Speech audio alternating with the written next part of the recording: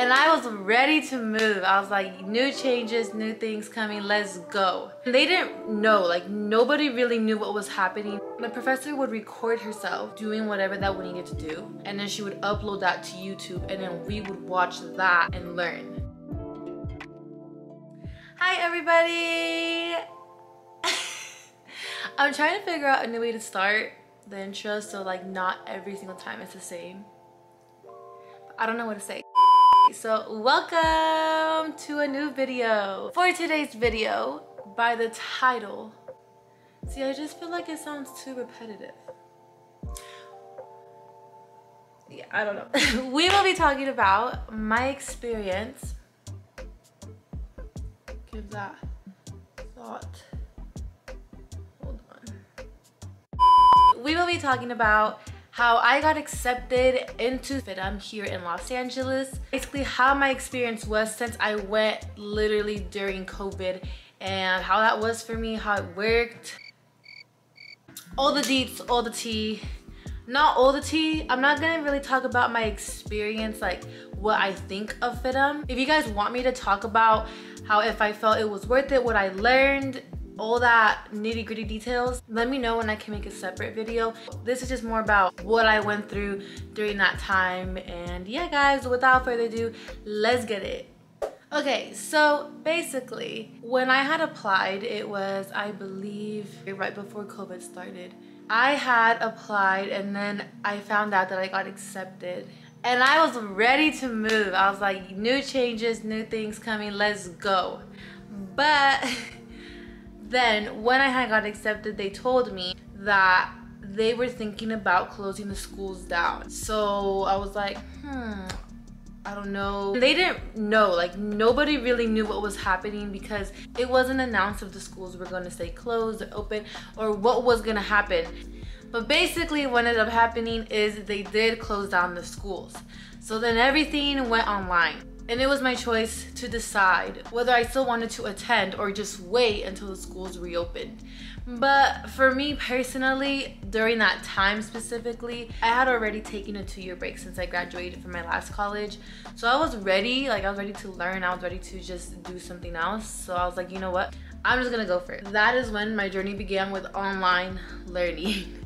now I have done online schooling before and I liked it, especially because some classes are just better when you can just watch them through Zoom. You don't have to drive to the school, it saves so much time, it's convenient.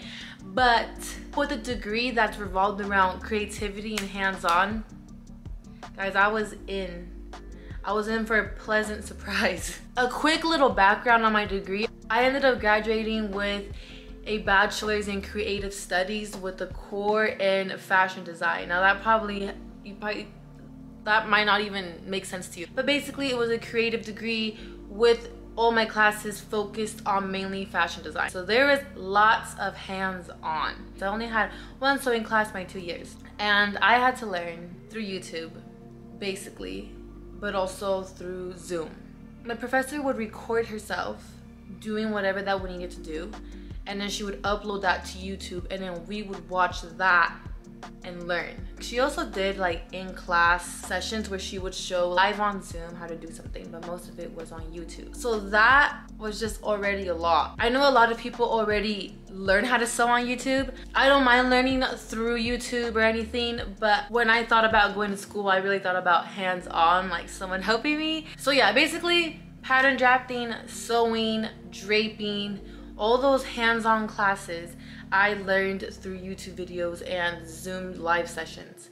And it was very hard to see. The quality wasn't always great. It was a learning curve for us and the professors because they had to learn how to record, how to go live, how to make sure that the quality was good. It was a lot on their end so that we could get the best quality on our end. And they did an amazing job. There was of course some ups and downs, some technical difficulties, but overall it got the job done we learned it all and it was a fun experience it was overwhelming and stressful but it was also fun so that's the first part on just what my classes were like and how I learned. Let's talk about my homework, like how I did my homework, how that had to be done because for my degree, I did have to sew things show the professor, drape things, show them, draft and show them. So it was, I had to do a lot of physical work and then I had to show them my work so they can give me feedback. So what we had to do is we had to take pictures of every single detail. Okay, guys? My camera roll, holy moly, literally my entire camera roll was just my homework. so we had to take pictures of it and send it to our teachers. A lot of the times it was like 20 plus photos, guys. It was a lot of photos. We all had to become photographers at this point because if the quality wasn't good, the teacher couldn't grade us. So you just had to make sure that you had the best lighting, the best everything. So how did it work with equipment? FIDM has all the equipment, all the industrial sewing machines, the pattern tables, the irons, the dress forms, they have everything. But FIDM wasn't at my house, so we had to buy everything. I had to buy a dress form, I had to buy a home sewing machine, and that was one thing that still kind of bit me on my butt cheeks was that I did not learn how to sew on an industrial machine. My last two quarters there, I definitely could have learned, but I didn't have any more sewing classes by then. And I had like one maybe that involved a little bit of sewing, but we couldn't really stay in the room that long unless the professor was there. So that was one thing that I guess I wouldn't say negative, but like like a downfall, a downside to that. So I really wanted to learn the industrial. But yes, I had to buy all the materials. It was the school materials plus materials that they wouldn't provide. Okay, now let's talk about classmates and the college experience, basically, how I met friends. So obviously it was all on Zoom.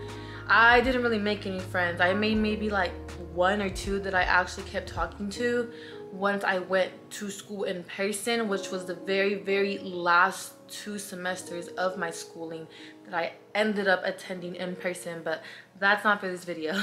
My classes were about seven to eight, maybe 10, 12 kids, but most of them were about eight kids, you know, and a lot of the classes were in the morning.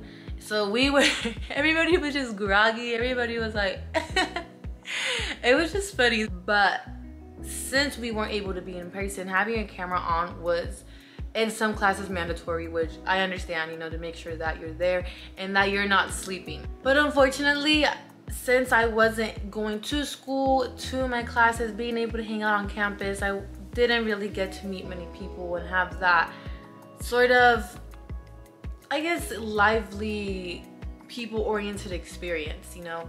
it was more like we were on Zoom once we got off of there. I would text them if we needed help or they would text me, but it wasn't like, hey, let's hang out because everybody lived in a different part of the US or of the world, honestly. That was probably one of the coolest things. There was people just everywhere from all parts of the world. So they had to adjust to the time zones. It was literally like two in the morning in their time and it was super early in our time and they were trying to stay awake and I was like kudos to you guys because that's crazy. But no worries it was still so much fun I still enjoyed it.